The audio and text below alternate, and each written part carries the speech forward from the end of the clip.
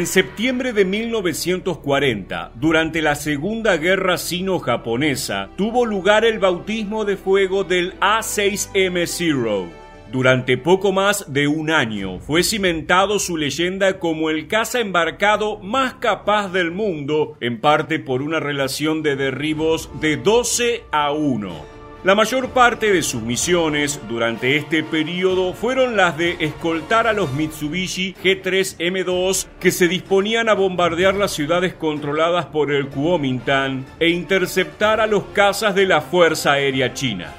El mayor estadounidense Claire Lee Chenot quien desde mayo de 1937 se encontraba supervisando el entrenamiento de pilotos de combate chinos y luego comandaría al grupo de mercenarios conocido como los Flying Tigers, escribió una serie de reportes sobre el rendimiento de la aeronave. Y si bien algunos analistas del Departamento de Guerra de los Estados Unidos los consideraron tonterías absurdas e imposibilidades aerodinámicas, el entonces jefe de Estado Mayor del Ejército, George Caslett Marshall Jr., supo reconocer el calificado trabajo de inteligencia. Trágicamente, muy pronto lo comprobaría en carne propia la inolvidable mañana del 7 de diciembre de 1941.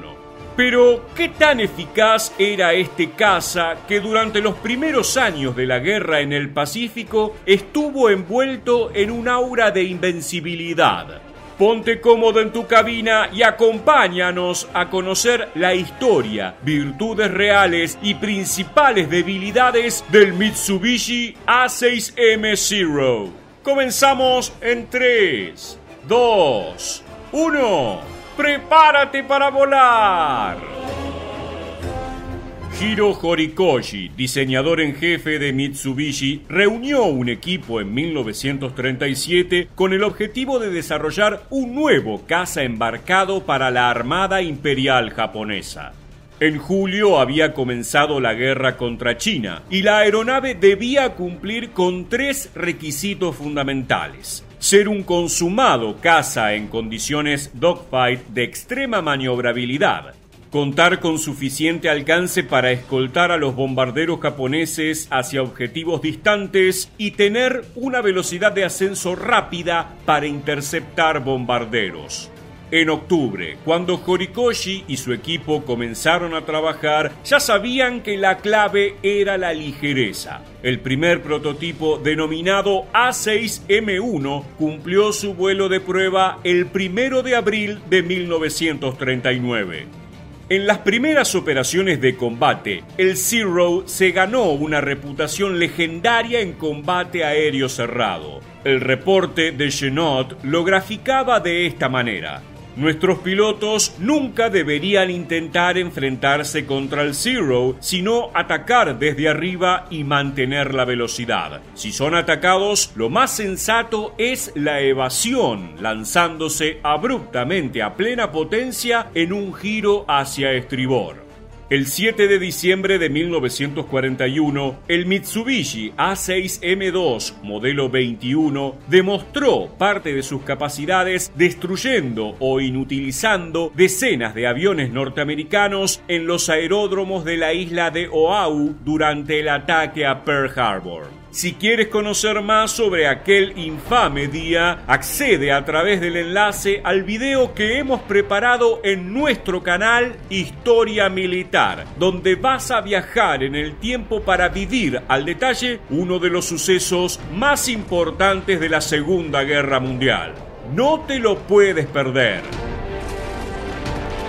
Volviendo al tema, a pesar de que al final de aquel fatídico día se recuperaron los restos de 13 Zero derribados, gracias a los cuales Estados Unidos supo de las falencias en su blindaje, el desempeño de vuelo continuó siendo un misterio. No fue hasta julio de 1942 cuando el ejército estadounidense capturó en la isla de Akutan una unidad sin mayores daños que no se tuvo una idea cabal de sus fortalezas y debilidades. Detengámonos en sus características más importantes. El Mitsubishi A6M2 Zero fue un caza monoplaza embarcado de largo alcance y extraordinaria maniobrabilidad. Sus dimensiones eran poco más de 9 metros de longitud, 12 metros de envergadura y poco más de 3 metros de alto. Como mencionamos, la clave para Horikoshi y su equipo se había centrado en su ligereza. Estaba revestido con el aluminio de apariencia rugosa, característico de los laminados en frío de bajísimo calibre. Para las partes sólidas y más pesadas de la estructura del avión se utilizó una aleación de zinc con aluminio llamada Super Duraluminio Extra, que fue desarrollado en 1935 por la industria Sumitomo. De esta manera, el peso bruto del A6M2 Zero era de 2.520 kilogramos, un 33% menor a su adversario principal en la primavera de 1942, el Grumman F4F4 Wildcat. Pero esta búsqueda de la ligereza llevó a Horikoshi a tomar la decisión, a menudo criticada, de no incluir tanques de combustible autosellantes o un blindaje adecuado.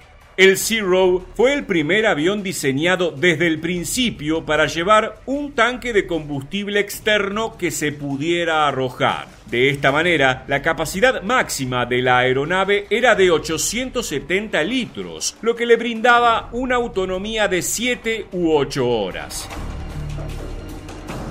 El motor del primer A6M producido en serie fue el Nakajima Sakae 12, de 980 caballos de fuerza.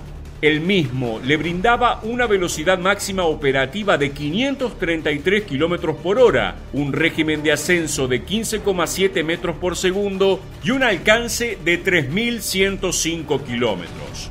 Ubicar el motor cerca de la cabina hizo que el Zero fuera más maniobrable ya que se encontraba más cerca de los centros de gravedad y elevación aerodinámico, brindándole a la palanca de comando la suficiente fuerza para empujarlo hacia un giro brusco o bucle cerrado. Sin embargo, eran tiempos en que los fabricantes estadounidenses, británicos y alemanes estaban produciendo motores de 1200 caballos y proyectando potencias de hasta 2000 caballos. Esta es una de las razones por las que Horikoshi perforó todas las partes internas posibles del fuselaje, también persuadió a la Armada Imperial para cambiar los estándares de carga máxima en muchos componentes que no consideraba cruciales. Los diseñó para que funcionaran al límite de la falla para que luego recuperaran su forma anterior tan pronto como se redujera la carga. Pero entonces, ¿es verdad que la potencia del Zero en relación a su peso siempre fue superior a la de sus adversarios? Sí, de hecho fue el caza con motor radial cercano a los 1000 caballos más rápido jamás producido.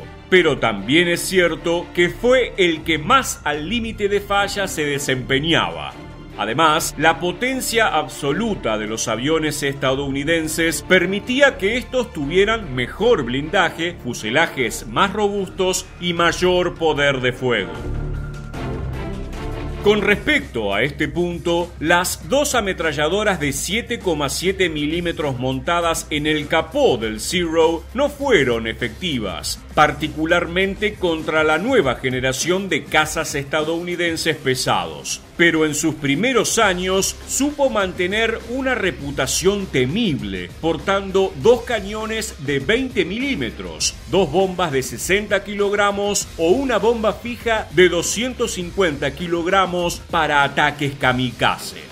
Puede suponerse que el principal defecto del Zero fue haber sido diseñado con la vieja idea que un enfrentamiento dogfight dependía solo de la maniobrabilidad. Quizás lo que los japoneses necesitaron y nunca obtuvieron fue un avión con mayor potencia.